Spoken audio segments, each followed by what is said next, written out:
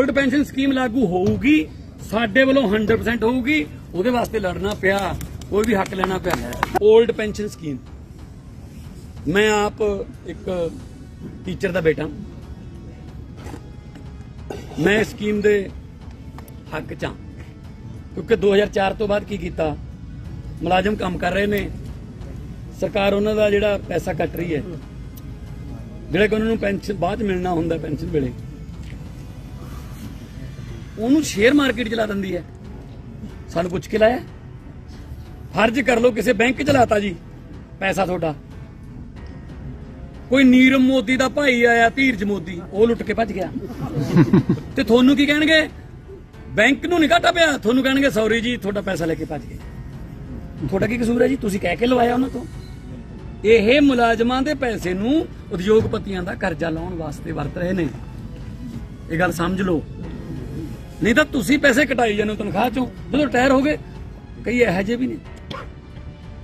ਜੇ 25 25 ਸਾਲ ਨੌਕਰੀ ਕਰਕੇ ਰਿਟਾਇਰ ਹੋ ਗਏ, ਹੋ ਸਕਦਾ 1000 ਰੁਪਿਆ ਪੈਨਸ਼ਨ ਮਿਲੇ। ਕਿਉਂਕਿ ਤੁਹਾਡਾ ਪੈਸਾ ਡੁੱਬ ਗਿਆ ਜੀ ਸ਼ੇਅਰ ਮਾਰਕੀਟ ਸਾਨੂੰ ਪੁੱਛ ਕੇ ਲਾਇਆ ਜੀ। ਅਸੀਂ ਤਾਂ ਕਹਿੰਦੇ ਜੋ ਸਾਡਾ ਕਟਾਇਆ ਉਹ ਸਾਨੂੰ ਦੇ ਦਿਓ। ਵਿਆਜ ਸਮੇਤ ਦੇ ਦਿਓ। ਪਹਿਲਾਂ ਮਿਲਦਾ ਹੀ ਸੀਗਾ 2004 ਤੋਂ ਪਹਿਲਾਂ। ਅਸੀਂ ਉਹ 올ਡ ਪੈਨਸ਼ਨ ਸਕੀਮ ਦਾ ਜਿਹੜਾ ਨੋਟੀਫਿਕੇਸ਼ਨ ਜਾਰੀ ਕਰਤਾ। ਅਸੀਂ ਉਹਨੂੰ ਹੁਣ ਵਿਧਾਨ ਸਭਾ 'ਚ ਲੈ ਕੇ ਆਵਾਂਗੇ। ਕੇਂਦਰ ਨੇ ਕੀ ਕਿਹਾ? ਕਹਿੰਦੇ ਅਸੀਂ ਤੁਹਾਡੇ ਪੈਸੇ ਨਹੀਂ ਮੋੜਦੇ 18000 ਕਰੋੜ ਪਿਆ ਜੀ ਉੱਥੇ। ਜਿਹੜਾ ਤੁਸੀਂ ਤੁਹਾਡਾ ਕੱਟ ਲਿਆ ਆਲਰੇਡੀ ਕਹਿੰਦੇ ਅਸੀਂ ਦਿੰਦੇ ਨਹੀਂ। ਫਿਰ ਹੁਣ ਉਹਨਾਂ ਨਾਲ ਲੜਾਂਗੇ, ਹੋਰ ਕੀ ਕਰੀਏ ਫਿਰ?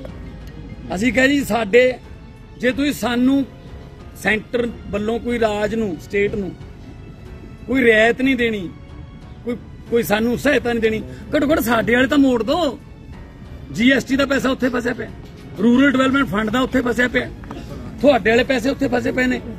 ਇਹ ਤਾਂ ਧੱਕੇਸ਼ਾਹੀ ਤੇ ਤਾਨਾਸ਼ਾਹੀ ਹੈ। ਇਹਦੇ ਵਿਰੁੱਧ ਲੜਨਾ ਪਊਗਾ ਆਪਾਂ ਨੂੰ। ਹਰ ਵਾਰੀ ਐ ਨਾ ਕਿਹਾ ਕਰੋ ਕਿ ਜੀ, ਆਹ ਦੇਖੋ ਜੀ, ਮੁਰਦਾਬਾਦ। ਦੁੱਖ ਹੋਇਆ। ਜਦੋਂ ਅਸੀਂ ਤਾਂ ਨੋਟੀਫਿਕੇਸ਼ਨ ਚੇ ਦਿਲੋਂ ਤੇ ਕੁਝ ਤੁਹਾਡੀਆਂ ਮੁਲਾਜ਼ਮ ਜਥੇਬੰਦੀਆਂ ਨੇ ਉਹਨੂੰ ਐ ਪਾੜ ਕੇ ਡਸਟਬਿਨ ਸੁੱਟਦਾ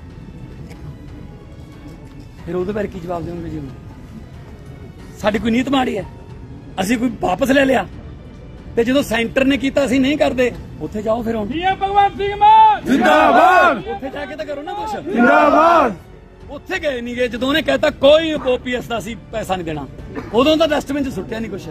ਐ ਨਾ ਕਰਿਆ ਕਰੋ। ਤੁਸੀਂ ਆਪਾਂ ਇਕੱਠੇ ਲੜਨਾ ਪਊਗਾ ਆਪਾਂ ਨੂੰ। ਆਪਸ 'ਚ ਲੜਨ ਲੱਗ ਜਾਂਦੇ ਆਪਾਂ। ਸਾਡੀ ਨੀਅਤ ਸੱਚੀ ਹੈ। 올ਡ ਪੈਨਸ਼ਨ ਸਕੀਮ ਲਾਗੂ ਹੋਊਗੀ। ਸਾਡੇ ਵੱਲੋਂ 100% ਹੋਊਗੀ। ਉਹਦੇ ਵਾਸਤੇ ਲੜਨਾ ਪਿਆ। ਕੋਈ ਵੀ ਹੱਕ ਲੈਣਾ ਪਿਆ। ਸਰਦਾਰ ਭਗਵੰਤ ਸਿੰਘ ਮਾਨ